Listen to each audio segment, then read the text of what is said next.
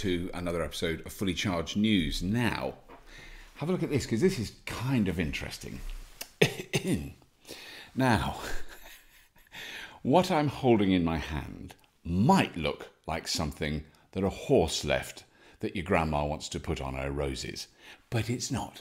No, that is a polymetallic nodule. Well, some of you might have heard the Fully Charged Show podcast uh, uh, that I did with Gerard Barron, who runs a company called Deep Green. And Deep Green sent me this a polymetallic nodule that was lifted from 4,000 meters beneath the surface of the Pacific Ocean, a thousand miles from the nearest land. Now, if you haven't discovered the Fully Charged Show podcast, I'll put a link beneath this, but it is very popular and we're getting amazing people on it as guests. So I'm really, uh, really thrilled with that. So, uh, Deep Green. Deep Green is this company that are developing uh, the technology to extract these nodules from the seabed. There are literally, literally billions of these uh, uh on certain parts of the Pacific Ocean floor at just mind boggling depth. So they're developing the machinery that can extract them. Why are they bringing up lumps of black stuff from the bottom of the ocean? Well, very simply, this dark lump is 99% usable minerals. That's a lot of percent. That's kind of all of the percents there are, except for one. So this is made of nickel, it's made of copper, it's made of cobalt, as well as traces of other rare earth metals such as molybdenum. Molybdenum. It's kind of hard to say that one. Loads of other rare earth elements and lithium. So it's all in these lumps. So now, clearly, clearly, I'm not going to go any further without mentioning that lowering large mining equipment machines 4,000 meters into the deep ocean to pick up nodules is going to be a contentious activity.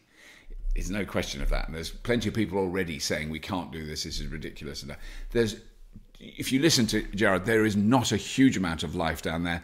And what they're doing is not digging stuff up. These are on the surface. They're literally scraping them off the surface, and nothing, nothing lives in these. Two key things are, which I think one of the fascinating things that Gerard said is, you know, as a mining engineer, someone who extracts the minerals that we need to make the things that we use in this world. We've got to stop mining, digging, digging stuff up on this earth. We've got to stop by 2050. And from then on, we must use everything we've got again and again. We need to develop a circular economy. And that is a massive, complicated challenge. I'm not saying it's easy, but it's not impossible. And it's becoming increasingly possible. One of the areas that it is impossible is with burning fossil fuels. Really hard to burn it twice. But just compare a, a, subsurface mining machine. We're going to go and try and see it. There is one uh, that we can go and have a look at at some point when we're allowed.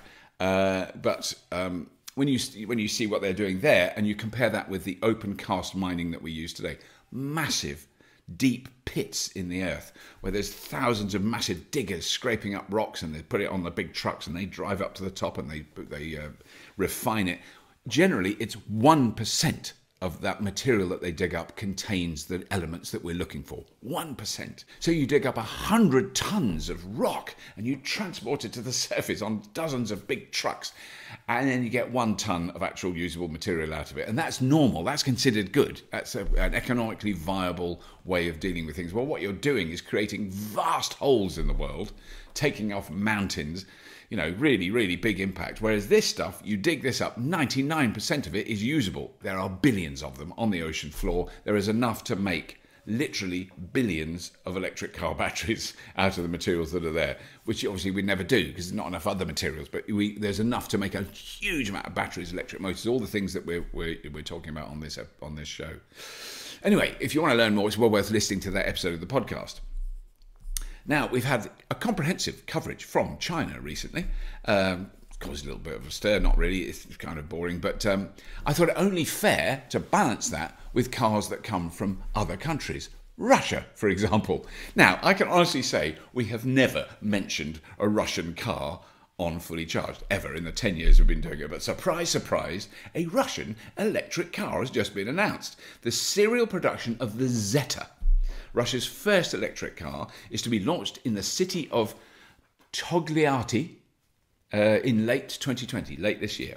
Zetta is the first mass produced, this is a production car, it's not a one off, this is a mass produced production car. It can travel up to a speed of 120 kilometres per hour.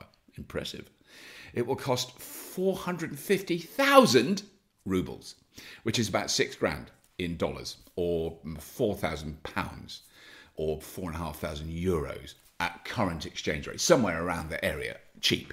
That's what's interesting about it. Uh, I'm, you know, I'm not going to, sure if we're ever going to be able to test drive this car. I don't know if it's ever going to come to Western Europe, for instance. I really hope it does. If uh, if anyone from Russia is listening, we'd be fascinated to see it. It's, it's, I'm really impressed. I mean, it is interesting. This is coming from a country essentially whose entire economy is dependent on exporting fossil fuels to the West. You know, it is really uh, oil and mainly gas. So it's a pleasant surprise to see this development. So I thought, yeah, cool. That's you know, first time we've had a Russian car on fully charged. And then along come two of them. And this second one is a little bit more, let's call it sexy. Now, okay, this is a carbon fiber copy of the first generation Ford Mustang. Now, the original Ford Mustang, I've actually driven one in Los Angeles and it was amazing. And for those of you too young to know this, there was a famous, iconic film of the late 1960s called Bullitt. which starred a man called Steve McQueen, who did all his own stunts. And there is a famous car chase in the film Bullitt. Uh, uh, one of the cars involved in the car chase is a Ford Mustang Fastback 1969. Very nice. It, it makes all the noises that men who love V8s, I'm one of them, loved all that stuff. I'm not going to do my V8 impression now. no, I'm not. but anyway, the Russian based Aviar company explained that they want to catch the spirit of the original Mustang and to rethink it in a modern way. So they're basically using the drivetrain, the batteries, the operating system, everything from a Tesla P100D performance car, but with a different body. They are quoting a 2.2 second 0 to 60, which is considerably faster than the vehicle that Mr. McQueen drove in the film Bullitt. Uh, 155 mile an hour top speed, uh, 840 horsepower output. So, you know, a high level performance vehicle. It's using carbon fiber exclusively uh, bodywork, which uh, offsets the weight of the very big 100 kilowatt hour lithium ion battery pack and it allows the R67, as it's called, to tip the scale at 2,100 kilograms, which is about 72 kilograms lighter than the Model S P100D. Just to put that in context for those of you who are used to pounds or stones, 72 kilograms is sort of an adult, slim adult. I'm a little bit more than that, but there was a time when I would have been about 72 kilograms. I was about 25. Now, where the actual batteries, the control systems, the motors, and peripheral necessities come from, I know not. I've got no idea. I, if I can find out any more information, I will report it here. And if we ever get a chance to drive that particular Mustang, I have got almost zero appreciation of uh, automotive design, but I do have a soft spot for the fastback Mustang. I don't know why. It's just got something about it. Enough about Russia. I mean, anyone would think that I'm sponsored by Vladimir Putin, but then I'm not a member of the British Conservative Party or the American Republican Party, so that's doubtful. No, I just want an ordinary, everyday story about electric vehicles and renewable energy. Just something run of the mill, nothing special or clever. Okay, so here we go. The oil giant Shell wants us to stop buying petrol and diesel cars. What the what? Now, it's been quite widely reported that Shell is pushing the UK government to uh, bring the ban on the sale of new fossil, uh, uh, fossil fuel vehicles uh, from 2035 to 2030. Bring it uh, five years earlier. So in 10 years from now, you can't buy a petrol or diesel car in the UK. This isn't Greenpeace or Extinction Rebellion saying this, is Shell. One of the oldest and biggest oil companies on earth are stating publicly that we should convert our entire transport fleet to electricity.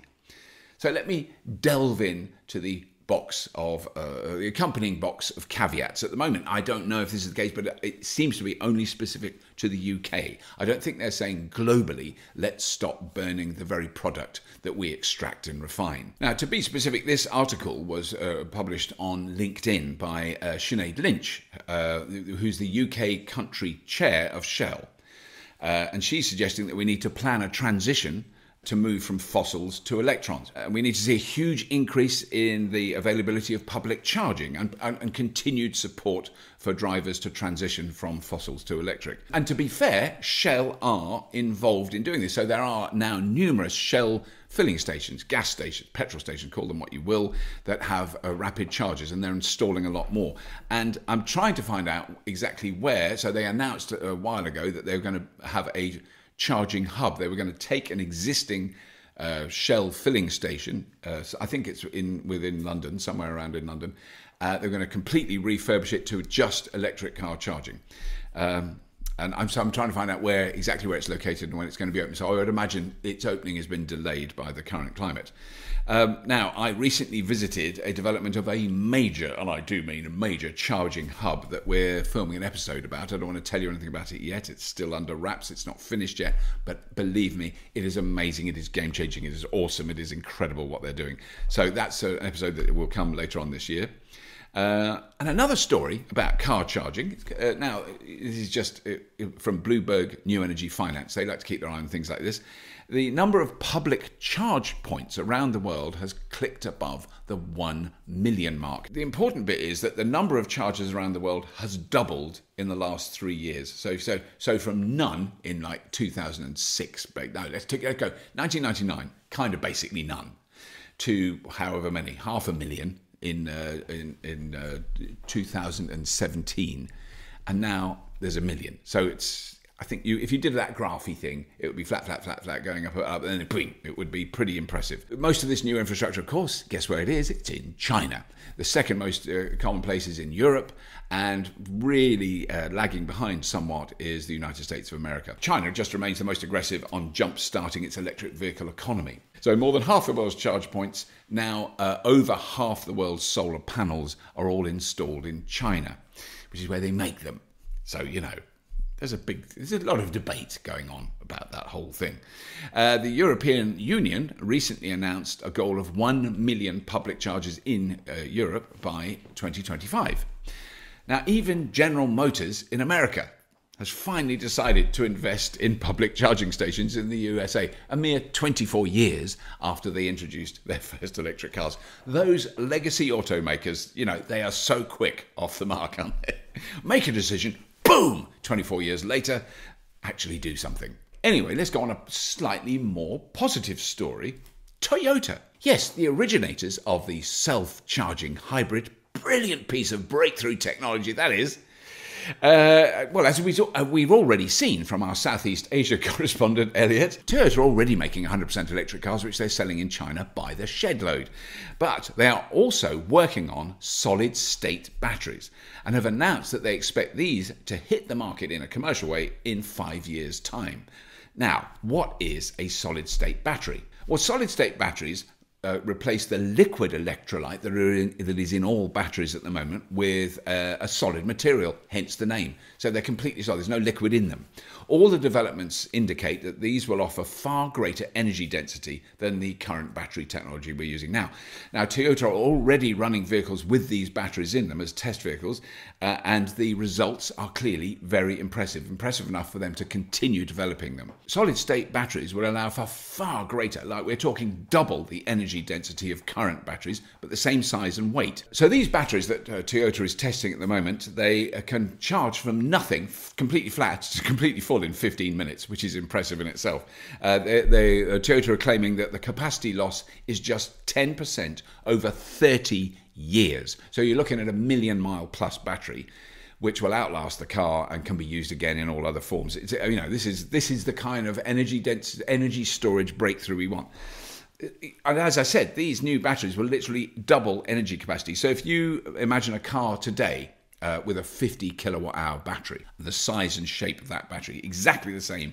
Today, with these batteries, it could have a 100 kilowatt hour battery. So we are looking at cars in five years' time that could have between 400 and 800 mile ranges, quite realistically, that could recharge in 15, 20 minutes. VW, Samsung, LG Chem, Dyson, they're all working on commercializing uh, the, uh, and manufacturing solid state batteries right now. And just to end on a high, a recent report out in the UK shows that electric car sales have increased this year during lockdown by 250% over the same period as last year. So more and more people do not want to buy inefficient, clanky, dirty, noisy old internal combustion engines. They want to buy electric cars. It's pretty painfully obvious. So there is the demand there. The car makers are beginning to finally pick up on it. There is the demand people do want to buy these cars. They are better than the rubbishy, clanky old ones that you're trying to flog us at the moment. So pull your fingers out, pull your socks up, and get to it. Anyway, that's all I've got time for. Loads of other stories. I'm going to do them for another show. I just want to quickly thank a handful of wonderful Patreon supporters who uh, support us with $10 a month or more. And this is what keeps fully charged on the road. Here they come The Plug Seeker, Mike Barrett, Brennan Dew, Stephen O'Donoghue, Tony Olshanksy, Jamie Easton Wise, Anton and Nada, Gemma Charlton, Christine Burns, thank you, Christine, Rick Wilkinson, Martin Ford, Paul Veal, John Pettinger, Nicola Worthington, Mike Apagelati, Andrew Waldron, Rob Tungman, Bernie Murphy, Daniel Vogeres, and Graham Shapcott. Thank you so much for your generosity. Really, truly, hugely appreciated. Not going to go on about it. I might get teary. Uh, that's all for this week. Uh, please do subscribe Fully Charged. Have a look at the Patreon link that's beneath this video. Uh, have a look at the um, uh, YouTube memberships. And uh, as always, if you have been, thank you for watching.